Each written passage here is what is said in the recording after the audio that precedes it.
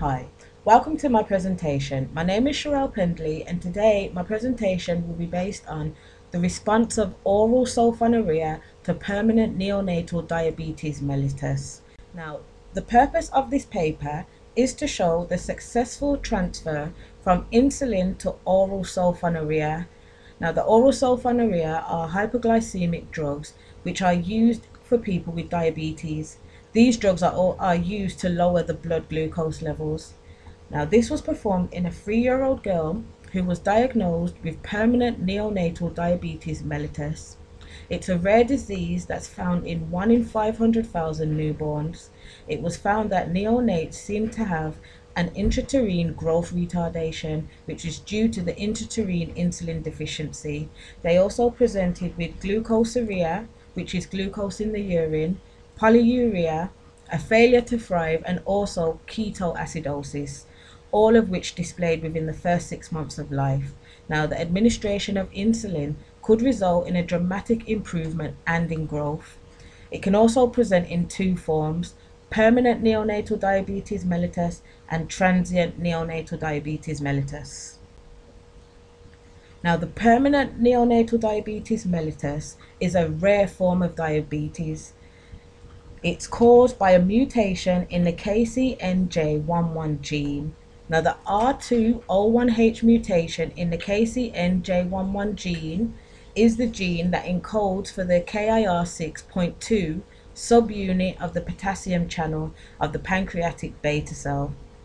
Now, this has occurred due to it being damaged and one of the bases being replaced with another. The coding has changed and affected the whole chromosome. Now this is what leads to the gene being mutated and the disease being present. Now the potassium inwardly rectifying channel subfamily member J, member 11, is also known as the KCNJ11 gene. It is the gene that is responsible for making the subunits of the ATP sensitive potassium channel. The potassium ATP channel consists of eight subunits, four from the KCNJ11 gene and four from another gene, which we won't go into in this presentation, but just to let you know, they have come from another gene. The potassium ATP channels are found in the beta cells, which are the cells that secrete the hormone insulin. Now, mutations within the KCNJ11 gene are the common cause of permanent neonatal diabetes mellitus. Now, if you just basically, um, we've just got a little, I've got a little picture of the chromosome as well, and it just shows you that it's located on the short arm of the chromosome, and it's located at position 15.1. The yellow arrow, if you just take a look, will show you that there. Okay, so now if you take a look if, at this one, this slide just here, shown here is the DNA sequence analysis of the patient. Now, the patient was a three-year-old female. Uh, as you can see from the data shown on the slide, the mutation has occurred and the base G has been replaced with A.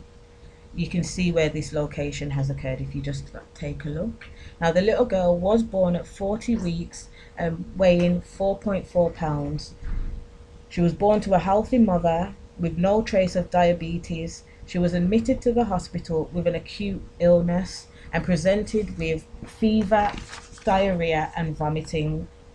Um, she was found to have hypoglycemia and her blood glucose levels was above 20 millimolar per litre. There was no clinical or biochemical evidence of ketoacidosis, but her hypoglycemia was persistent, so she was started on subcutaneous insulin isophane. This was administered, administered to her twice daily. Okay. So, um, as I said, it was administ administered to her twice daily. Um, she was diagnosed as having a de novo heterozygous mutation in the KCNJ11 gene and was transferred from subcutaneous insulin to an oral glibenclamide. Now, this is an anti-diabetic drug. It works by increasing insulin binding and sensitivity at receptor sites by stimulating insulin release from the beta cells in the pancreas and reducing blood glucose levels. At the age of two years old, the little girl was again transferred to the hospital and there were several tests that were performed. Um, again, her blood glucose readings were taken. They were taken before and after being administered the oral sulfonylurea. there was a dramatic improvement in the blood glucose levels after the oral sulfonylurea was administered. Okay, now before I should just start off by saying that the normal levels for the HbA1c in a person who hasn't got diabetes would be 3.5 to 5.5 percent. Um, if the levels was around 6.5 percent in someone with diabetes, that would be a good level basically.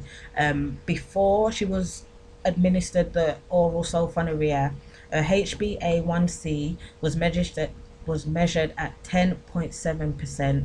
Her fasting blood glucose was 5.6 millimolars per liter and two hours after being administered her glucose levels was 20.1 millimolar per liter now her blood glucose was monitored four to six times per day her glucose was in the range of 15 to 18.6 millimolar per liter, and her insulin was measured at 150 picomolar per liter. Her C peptide was in the range of less than 0.5 nanograms per mil. Um, also, I should just state as well that the um, the HbA1c is just it's basically all about the hemoglobin level. So it's a way to check that the diabetes is under control, and um, it can tell you how high your blood glucose levels are.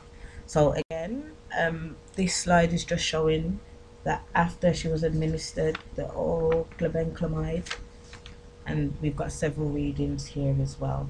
So the data recorded, basically she was weaned off insulin eight days after starting the glibenclamide and her blood glucose levels was monitored, monitoring was continued.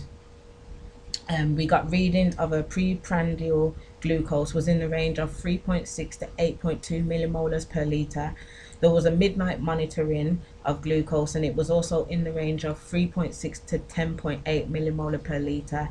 Now, eight weeks later, while she was still on glibenclamide, there was no episode of hypoglycemia or diarrhea.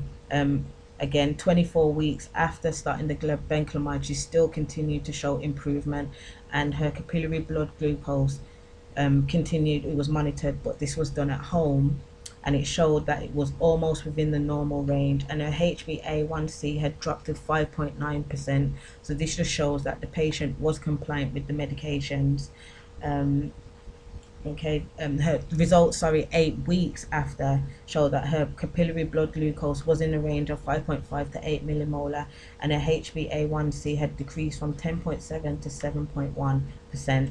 The insulin levels was measured measured at 19 picomoles per liter. Um, just to let you know also that um, normal range of blood glucose levels would normally be from 4 to 7 millimolar per liter so when hers was first registered, it just showed that it was way above the levels that it should have been. Basically, just to conclude, what we've shown is that mutations within the KCNJ11 gene are the cause of permanent neonatal diabetes mellitus. Pearson et al. also showed that the successful switch from insulin to oral sulfonylurea in 90% of patients within the KCNJ11 mutation. This is also the first case of a successful switch from insulin to oral sulfonylurea in a patient with the R201H mutation.